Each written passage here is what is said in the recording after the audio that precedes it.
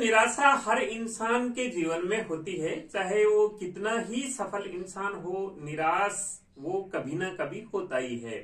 तो अभी आपकी स्टडी चल रही है, एग्ज़ाम डेट अनाउंस हो गई है तो आपके भी अभी निराशा होती होगी, क्योंकि कभी कभी क्या होता है, जैसे आपके जो डेली प्रैक्टिस टेस्ट हैं, उनमें मार्क्स कम आ गए, या फिर आपका कभी मूड नहीं है पढ़ने का, तब आप निराश हो जाते हैं, और उस निराशा के क्षण में हमें मोटिवेशन की ज़रूरत होती है। तो मैं आपको बता दूँ कि मोटिवेशन हम तीन तरीके से हो सकते हैं। सबसे पहले हमें मोटिवेट करते हैं अदर्स अदर्स का मतलब है इसमें रिलेटिव भी आ गए हमारे, इसके बाद में जो हमारे, जो फूफा, मोसा हैं, वो सारे आ गए तो ये इस प्रकार से वो हमें मोटिवेट करते हैं। तो वो मोटिवेशन होता है अदर्स का। मैं आपको बता दूँ कि आपके पेरेंट्स के अलावा, आपके जो पेरेंट्स हैं भाई बहन हैं और टीचर हैं, उनके अलावा आपको कोई मोटिवेट अंदर से, दिल से नहीं करता है। वो बाहर से आपको बोलते रहते हैं हाँ अब की बार आपका सिलेक्शन पक्का है नीट ट्वेंटी वन आप क्रैक करेंगे ही करेंगे। लेकिन अंदर ही अंदर। ये भी सोचते हैं कि यार, नहीं हो इस बार। इसका नीट क्लियर नहीं हो तो ही ठीक रहेगा। वो बाहर से ज़रूर बोलेंगे, लेकिन अंदर से ऐसा ही होता है। क्योंकि मैंने कभी, मेरे जीवन में ये मैंने प्रैक्टिकल देखा है। 2019 में जब मेरे बच्चे का सिलेक्शन हुआ था, तभी मेरे साथ ऐसा ही हुआ था। एग्ज़ाम हॉल में जब बच्चा पेपर कर रहा है तो मैं ये आइडिया नहीं लगा रहा हूँ कि वो पेपर कर रहा होगा अभी, क्या कर रहा होगा, क्या नहीं। लेकिन जो मेरे रिलेटिव हैं, मेरे दोस्त हैं, वो पहले ही हाँ अभी तो पाँच बजे तक पेपर है, उसके बाद पाँच बजे बाद एग्ज़ाम हॉल से आएगा, उसके बाद में छह बजे घर पहुँच जाएगा, सात बजे आंसर की आ जाएगी आठ बजे तक वो चेक कर लेंगे। हाँ आठ बजे मैं फ़ोन करके पूछूँगा क्या सिचुएशन है। आठ बजे फ़ोन आने लगते हैं। अगर बाई द वे उस समय फ़ोन किसी का बंद हो जाता है तो ये लोग जो आपके रिलेटिव हैं, वो ये आइडिया लगा लेते हैं कि हाँ गया बेटा काम से। क्योंकि इस बार तो होगा नहीं, फ़ोन बंद करके बैठ गया, इस बार इसका सिलेक्शन नहीं होगा। तो वो बड़े मन मन में उनके लड्डू फूटते हैं। अगर बाय द वे आपने उनको ये बोल दिया कि हाँ इस बार तो सिलेक्शन पक्का है तो समझो उनकी नानी मर जाती है। तो इस प्रकार के मोटिवेशन से आप दूर रहें, क्योंकि ये जो रिलेटिव हैं ये आपको मोटिवेट नहीं बार से ही ऐसे बोलते कई कई तो डायरेक्टली भी ऐसे बोल देते हैं कि यार आपने फ़ील्ड गलत चुन लिया है। देखो, वो फला का बेटा है, उसका हुआ नहीं है। बोर्ड में उसके 96 मार्क्स थे, फिर भी नहीं हुआ है। अरे, आपके तो 86 मार्क्स है, आपका कहाँ होगा? ऐसे बोलने वाले, आपको डीमोटिवेट करने वाले काफ़ी सारे मिल जाएँगे। तो आप इस प्रकार के मोटिवेशन से दूर रहें। इस प्रकार के मोटिवेशन से दूर रहें आप। दूसरी बात हम करते हैं कि आपके जो पेरेंट्स और टीचर आपको मोटिवेट करते हैं, वो आपका असली मोटिवेशन है। लेकिन वो कितने दिन तक मोटिवेट करेंगे? एक महीने, दो महीने तक मोटिवेट करेंगे? वही घिसी पीटी बातें कि बेटा आपका तो ज़रूर होगा सिलेक्शन आपके तो बायोलॉजी में हंड्रेड में से नाइन्टी एट मार्क्स थे। आपका क्यों नहीं होगा? आपका तो होगा। आपके टीचर भी यही बोलेंगे कि आप में वो पावर है। आप इस नीट को क्रैक करेंगे ही करेंगे, लेकिन वो कब तक बोलते रहेंगे?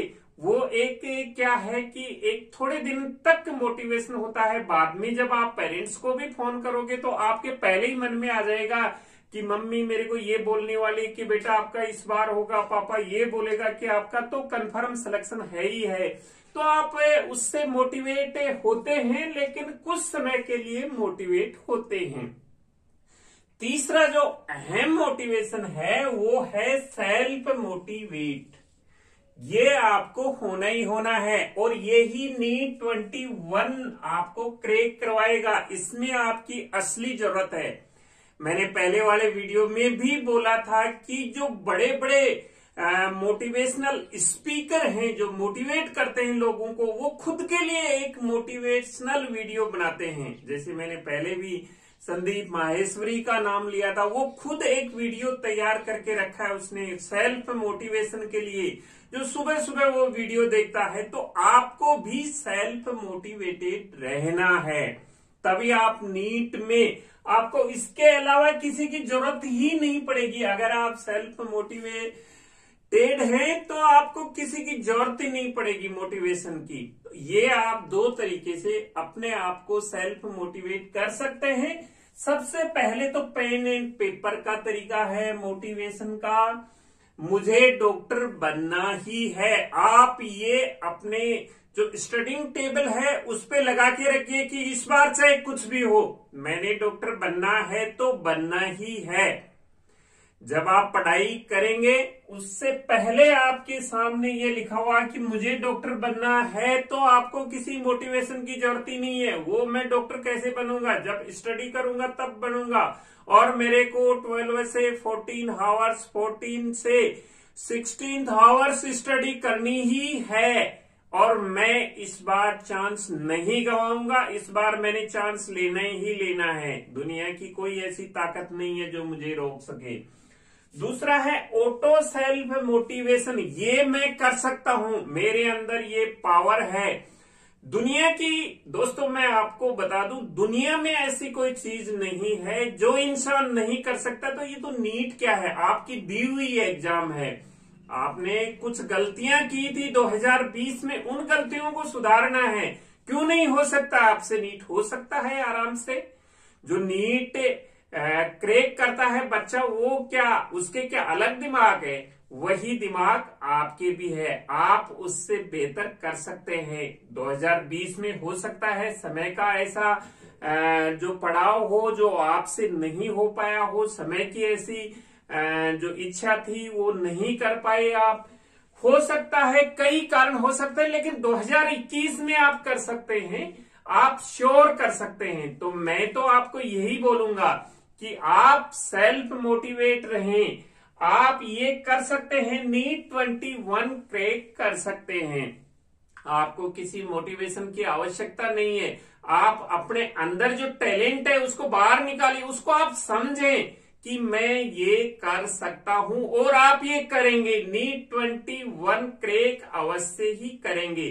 क्योंकि ऐसी कोई चीज़ नहीं है जो इंसान अगर ठान ले तो वो कर नहीं सकता है। करना है नीट ट्वेंटी वन क्रैक करना है, इसके लिए मेहनत करनी है।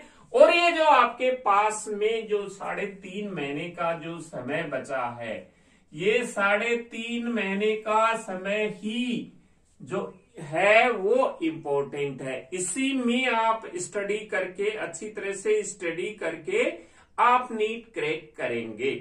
तो मैं इसी आशा के साथ आपसे ये आशा करता हूँ कि आप नीट ट्वेंटी वन में क्रैक करने के लिए अच्छी स्टडी करेंगे और वो क्षण का इंतज़ार करेंगे जब आप एग्ज़ाम हॉल से बाहर निकलेंगे।